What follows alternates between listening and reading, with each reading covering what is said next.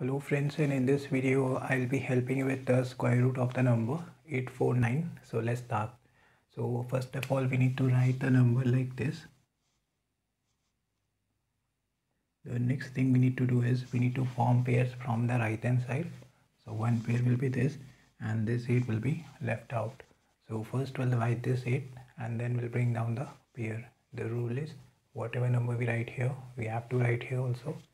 so if we write 3 here and 3 here it will be 9 which is greater than 8 so we cannot take it if we write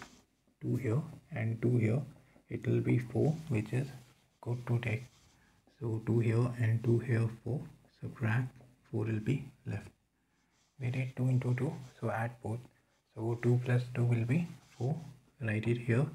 and keep a digit extra and this number we need to make it big so bring the next pair down and it will be 449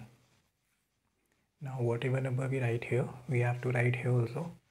so if we write 9 here and 9 here it will be 441 subtract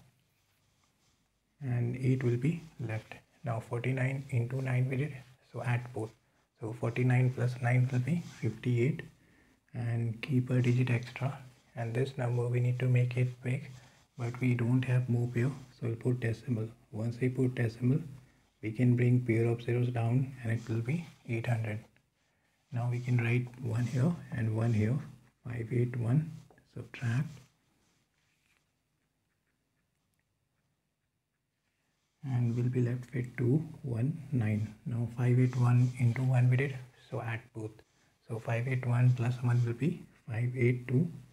and 1 digit extra and this number we need to make it big so bring the next pair of zeros down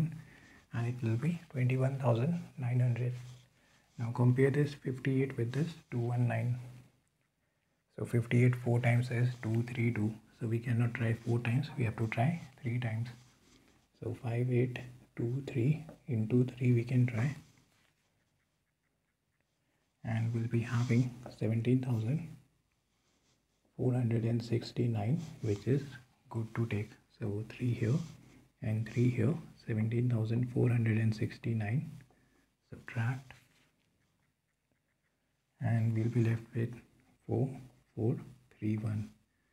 now 5823 into 3 we did so add both so 5823 plus 3 will be 5826 and one digit extra and this number we need to make it big so bring the next pair of zeros down and it will be 443 100 now compare this 58 with this 443 so 58 8 times is 464 so we cannot try 8 times we have to try 7 times so 5 8 2 6 7 into 7 we can try and we'll be having 407869 which is good to take so 7 here and 7 here but we don't need to calculate because we got the answer correct up to three decimal places so square root of 849 will be 29.137 that will be the answer so this is all about square root of 849 so if you found the video helpful please do the like button do consider subscribing and thanks for watching